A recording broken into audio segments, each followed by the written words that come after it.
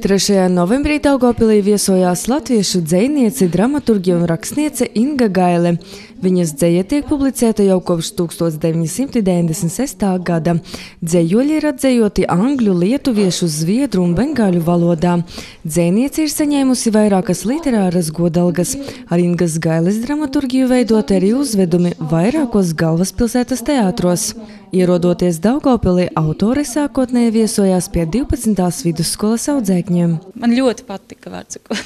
Viņi ļoti uzmanīgi klausījās un paldies viņiem par to, jo es pati saprotu, ka tas ir tas vecums, 10. un 11. klase, ka varbūt nemaz nav tik vienkārši, daudz citas intereses nav nemaz tik vienkārši tur 40 minūtes sēdēt un klausīties dzēju. Bet jā, liels paldies viņiem. Viņi to tiešām ļoti uzmanīgi darīja. Inga ir izdevusi dzējas krājumus, laiks bija iemīlēties, raudāt nedrīkst smieties, kūku Marija, Migla un vai otrā grupa mani dzird. Savukārt 2015. gadā Inga Gaile spilgti debitēja prozā ar romānu Stikli, kas iznāca sērijā Mēs Latvija 20. gadsimts. Par šo romānu viņa stāstīja Latgales centrālās bibliotēkas lasītavā. Romānā risināta virkne sensitīvu pretrunīgu jautājumu, kāda bija Latvijas brīvvalsts laika un Kārļa Ulmaņa autoritārā režīma pārpilnības, latviskuma un kārtības laika slēptā puse. Romāna stikli darbība risinās 1938. gadā. Galvenais stāsts ir par mīlestību, sabiedrībā valdošo attieksmi pret seksualitāti un garīgi slimiem cilvēkiem.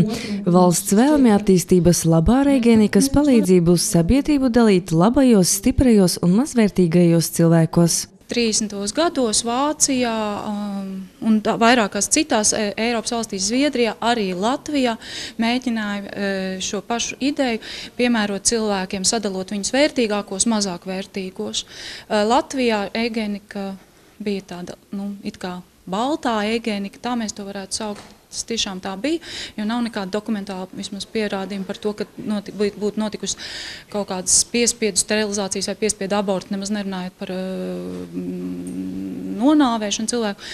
Bet, protams, šīs egenikas idejas uh, nacistiskajā Vācijā sasniedz tādu trausmīgu uh, kulmināciju, kur un arī Diemžēl 42. gadā Latvijas teritorijā gandrīz visi psihoneiroloģisko slimnīcu pacienti tika nogalināti. Inga Gaile kopš 2004. gada ir Latvijas rakstnieku savienības biedre.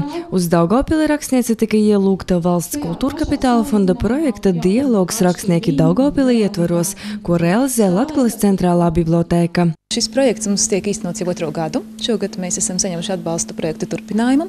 Jau pagājušajā gadā pie mums viesojās pieci autori, un vairāk, tas bija vairāk projekts, kas bija vērsts uz bērniem.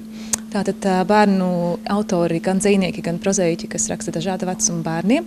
Šogad mēs esam koncentrējušies vairāk uz pieaugušajiem. Un, tātad pie mums jau sākot ar septembri ir bijuši divi autori, un Inga Gaila ir trešā. 16. novembrī Daugopilī viesosies latviešu rakstniece Māra Cielēna, bet decembrī projektu noslēgs Gundega Repše. Nepalaidiet garām šīs unikālās tikšanās ar latviešu rakstniekiem!